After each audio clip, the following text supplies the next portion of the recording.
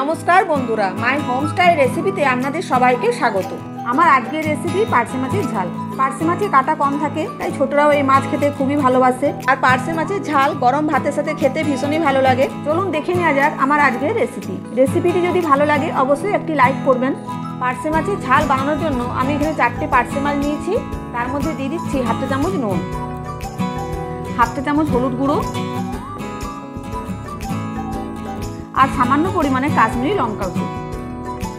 এরপর ভালো করে নুন হলুদটা মাছের সাথে মাখিয়ে নিচ্ছি।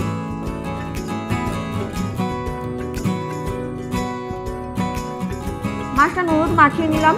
এরপর কড়াইতে বেশ খানিকটা সরষের তেল গরম করতে দিয়েছি। তেলটা গরম হয়ে গেছে, মাছগুলো একে একে দিয়ে দিচ্ছি।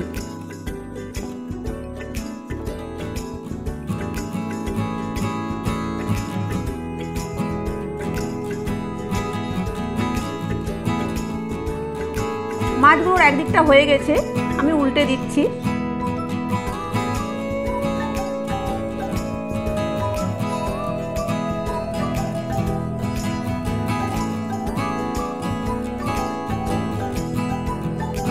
মাছগুলো ভাজা হয়ে গেছে, তুলে নিচ্ছি।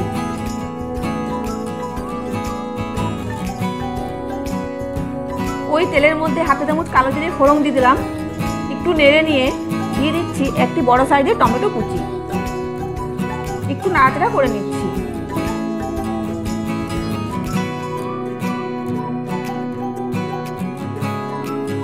একটু নাড়াচাড়া করে দিয়ে দিচ্ছি স্বাদ মতো নুন, একটা চামচ হলুদ গুঁড়ো, একটা চামচ জিরে গুঁড়ো আর হাফ চা চামচ লঙ্কা গুঁড়ো। এরপর দু মিনিটের মতো নাড়াচাড়া করে নেব। টমেটোটা যাতে ভালো করে সেদ্ধ হয়ে যায়।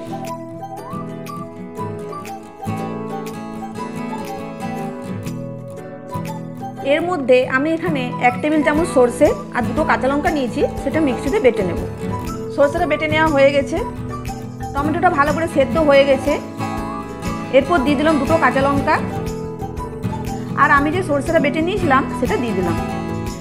এরপর সর্ষে বাটাটা দিয়ে একটু কষিয়ে নেব।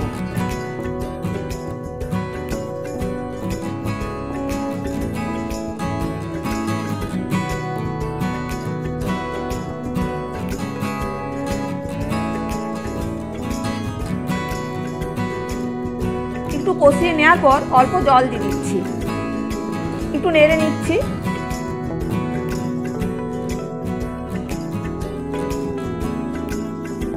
ঝোলটা একটু ফুটলে ভেজে রাখা মাছগুলো দিয়ে দিচ্ছি।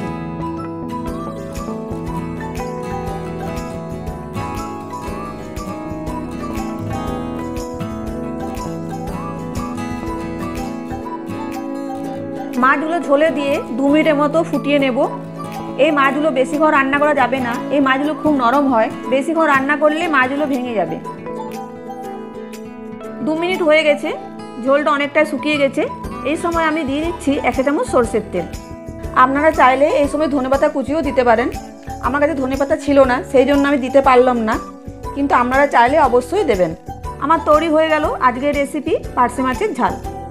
আমার আজকের রেসিপি আপনাদের যদি ভালো লাগে, তাহলে আমার এই ভিডিওটিতে লাইক করবেন কমেন্ট করবেন, আর ভিডিওটিকে শেয়ার করবেন। আর আমার চ্যানেলে নিত্য নতুন রেসিপির আপডেট পেতে চ্যানেলটি সাবস্ক্রাইব করবেন। আর পাশে থাকা বেলাইকনটি টিপতে একদম ভুলবেন না। আমার নেক্সট ভিডিওর জন্য অপেক্ষা করুন। তখন ভালো থাকবেন, সুস্থ থাকবেন।